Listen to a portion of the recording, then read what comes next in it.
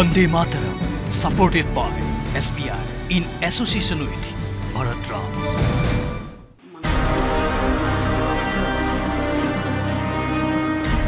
নেতৃত্ব দিছিল এটা ঐতিহাসিক ঘটনাৰ।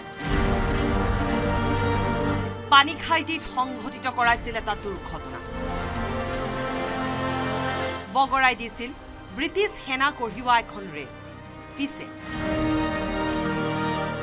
সম্পূৰ্ণ চৰকাৰৰ ওপৰত নিৰ্ভৰ কৰে যদি চৰকাৰে অনুভৱ কৰে যে তেখেত এজন মুক্তিযোদ্ধা আছিলে আৰু তেওঁৰ সমাধিস্থলীত আমি উন্নয়ন কৰোঁ কিন্তু আমি নিজৰ পিতৃ বুলি আমি পালন কৰি আছোঁ। হয় স্বাধীনতা আন্দোলনৰ এটা বিশেষ ঘটনা এক প্ৰকাৰ এককভাৱে সমাপন কৰা এই লোকজনো আজি প্ৰায় পাহৰণিৰ গৰ্ভত। বীৰেন্দ্ৰ কুমাৰ ভট্টাচাৰ্যই যদি মৃত্যুঞ্জয় নামৰ মাইলৰ খুঁটি স্বৰূপ উপন্যাসখন নিলিখিলেহেঁতেন ইতিহাসৰ এই নায়কজন হয়তো হেৰাই গ'লহেঁতেন বিস্মৃতিৰ গৰ্ভত।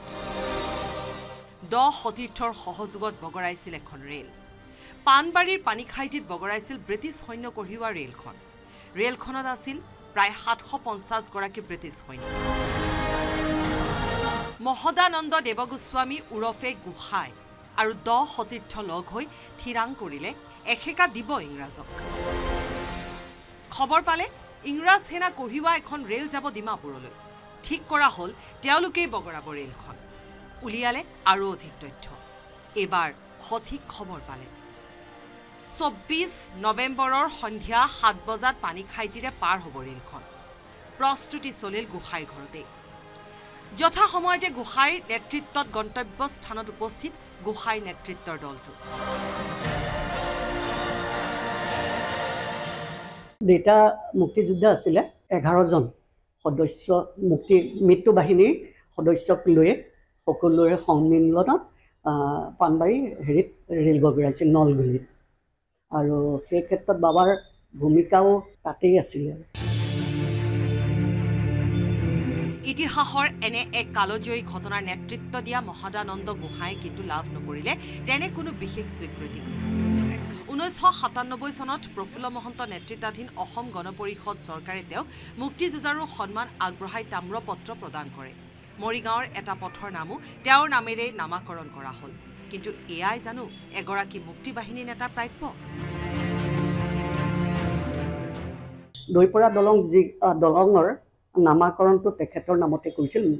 মহাদানন্দ গোস্বামীদেৱৰ নামত সেইখিনি সময়ত প্ৰফুল্ল কুমাৰ মহন্ত মুখ্যমন্ত্ৰী আছিল। তামৰফলি অসম আছাম ষ্টেটৰ তেওঁ পেঞ্চন পাইছিলে। আৰু তাৰ বাদেও তামৰফলি এখন প্ৰফুল্ল কুমাৰ মহন্তৰ দিনতেই পাইছিলে। উল্লেখযোগ্য যে গোসাঁয়ে ৰেল বগৰোৱাৰ বাবে ব্যৱহাৰ কৰা সা সৰঞ্জাম তেওঁৰ হাতে লিখা এখন আত্মজীৱনীকে ধৰি বহু কেইপদ আপুৰুগীয়া সামগ্ৰী সম্প্ৰতি তেওঁৰ পৰিয়ালৰ লোকে সংৰক্ষণ কৰি ৰাখিছে। কিন্তু ইতিহাসৰ আপুৰুগীয়া সমল হ'ব পৰা এই সামগ্ৰীসমূহ বিজ্ঞানসন্মত সংৰক্ষণ আজিকোপতি কৰা নহ'ল। জ্ঞানপীঠ বঁটা বিজয়ী সাহিত্যিক বীৰেন্দ্ৰ কুমাৰ ভট্টাচাৰ্যৰ গ্ৰন্থ মৃত্যুঞ্জয়ৰ নায়ক আছিল এগৰাকী মহদানন্দ গোস্বামী অৰ্থাৎ মহদা গোসাঁই। কিন্তু পৰিতাপৰ বিষয় যে স্বাধীনতাৰ সাতসত্তৰ বছৰ পিছতো নিৰ্মাল নহ'ল মুক্তিযোদ্ধা মহদানন্দ গোস্বামীৰ সমাধিস্থল। প্ৰসংগক্ৰমে উল্লেখ কৰিব পাৰি যে গোসাঁইৰ আত্মজীৱনীখন প্ৰকাশ কৰিব বুলি এজন লোকে পাণ্ডুলিপিটো লৈ গৈছিল বুলিও জানিব পৰা গৈছে। পিছে কেইবছৰমানৰ পাছত পিতৃৰ আত্মজীৱনীৰ ছপা ৰূপ নেদেখি গোসাঁই পুত্ৰই পুনৰ উভতাই আনিছিল পাণ্ডুলিপিটো। মায়ঙৰ পৰা অজয় পালৰ report news eighteen Assam north east.